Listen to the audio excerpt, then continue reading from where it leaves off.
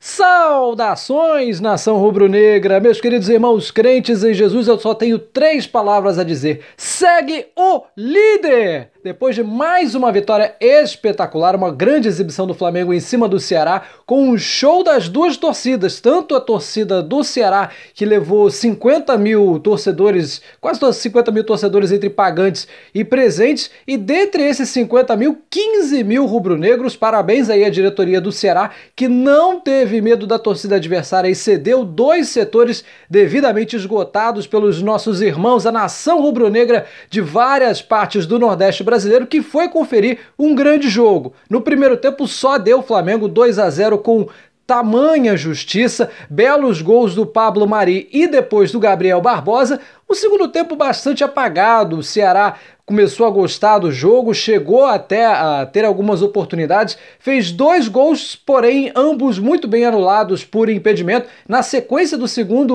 gol anulado do Ceará, o Gabriel, Gabriel Barbosa também fez um gol anulado pelo mesmo motivo, muito bem anulado por impedimento. Mas o que interessa é que no final do jogo, no apagar das luzes, como todo mundo já dava como favas contadas, o 2 a 0 virou goleada, um golaço do Jorjan de Arrascaeta, uma bicicleta maravilhosa que, olha, se não for pro Prêmio Puskas de 2020, vamos invadir a sede da FIFA, porque é armação. Golaço maravilhoso, o gol mais lindo, com certeza, da rodada. E com os resultados todos ajudando. O São Paulo perdeu pro Vasco. O Santos conseguiu entregar um resultado de 3 a 0 em casa, que virou 3 a 3 no apagar das luzes. O Palmeiras não jogou nessa rodada. Então, Somando tudo isso, Flamengo líder no saldo de gols, 33 pontos, assim como o Santos, e agora pé no chão, cabeça focada na Libertadores. Quarta-feira tem decisão, quarta, 9 e meia, 2 a 0 na ida,